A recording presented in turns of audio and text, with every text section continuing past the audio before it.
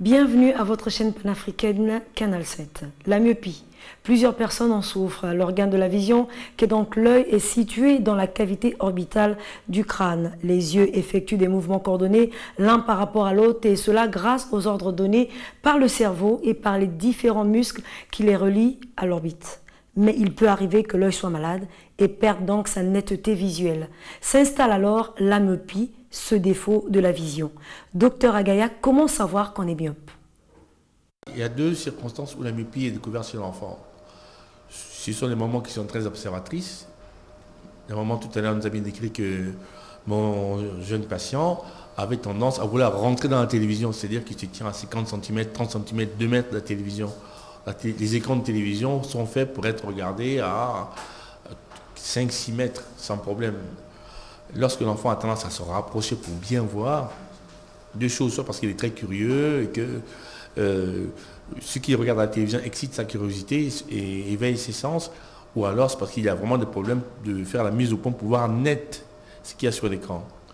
L'autre circonstance, ce sont évidemment les maîtresses, les puricultrices, les instituteurs, les professeurs qui remarquent qu'un enfant a beaucoup de difficultés à lire au tableau, c'est l'enfant qui se lève toujours pour aller voir qu'est-ce que le maître a écrit, ou bien qui recopie sur le, son voisin de table, etc., parce qu'il ne voit pas bien. Ce sont les circonstances sur lesquelles on découvre la myopie, qui se caractérise par une difficulté à voir de loin. Certaines personnes ne se savent pas mieux, mais euh, si quelqu'un lui dit bonjour en face, euh, sur le trottoir d'en face, ils sont complètement incapables de reconnaître le, visage de la personne qui, lui dit bonjour. Ça, c'est un signe de myopie assez évident. Il est important de la détecter assez tôt. Au cas contraire, la myopie évolue de manière désordonnée. Les parents manifestent souvent leur refus quant au port des lunettes à leurs enfants malgré les conseils du médecin. Pour ce qui est notamment de la myopie, environ un être humain sur quatre est atteint de cette pathologie. Selon donc le mécanisme de fonctionnement de l'œil, lorsque la lumière arrive au niveau de l'œil, eh bien, elle est focalisée par la pupille et surtout le cristal vers les cellules de la rétine qui tapissent le fond de l'organe. Lorsque la vision est claire, eh bien, un rayon lumineux doit se rejoindre le plus proche possible de la rétine. Lorsqu'on est myope, eh bien, cette fonction s'effectue en avant de la rétine quand l'objet est situé assez loin pour que les rayons lumineux parviennent à l'œil de manière parallèle. Ainsi, les objets éloignés paraissent flous il existe divers degrés de myopie, mais pour éviter l'évolution de la maladie, eh des précautions sont tout de même à prendre, comme le confirme le docteur Agaya.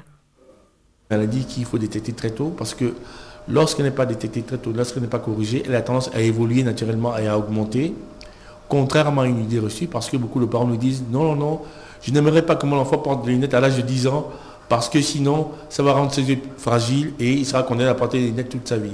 Au contraire, il vaut mieux que l'enfant porte des lunettes très tôt pour euh, essayer de cadrer sa myopie et éviter qu'elle évolue de manière désordonnée pour aboutir à des lunettes qui sont très épaisses, qu'on appelle les verres de bouteille, qui sont extrêmement disgracieux et, que l'enfant n'aura de toute façon pas envie de porter.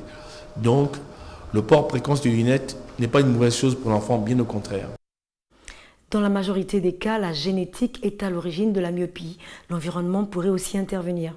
Dans le traitement de la myopie, il faut distinguer deux notions différentes. Le plus souvent, on corrige la myopie à l'aide des lunettes ou encore des lentilles de contact qui vont détourner la lumière pour la pousser à se focaliser au niveau rétinien. La vision éloignée est améliorée, mais le défaut est juste compensé. La myopie, c'est vraiment c'est la forme de l'œil en, lui-même qui est telle que l'enfant ou l'adulte a, avoir, a du mal à faire la mise au point pour voir un objet net, un objet qui se tient à distance. C'est ça la myopie. Et ça nécessite absolument de verre de lunettes, ou ça peut être corrigé par des opérations chirurgicales, ou ça peut être corrigé par du laser. Mais ça, ce sont des, des choses assez compliquées. Le plus simple, c'est quand même de porter des lunettes.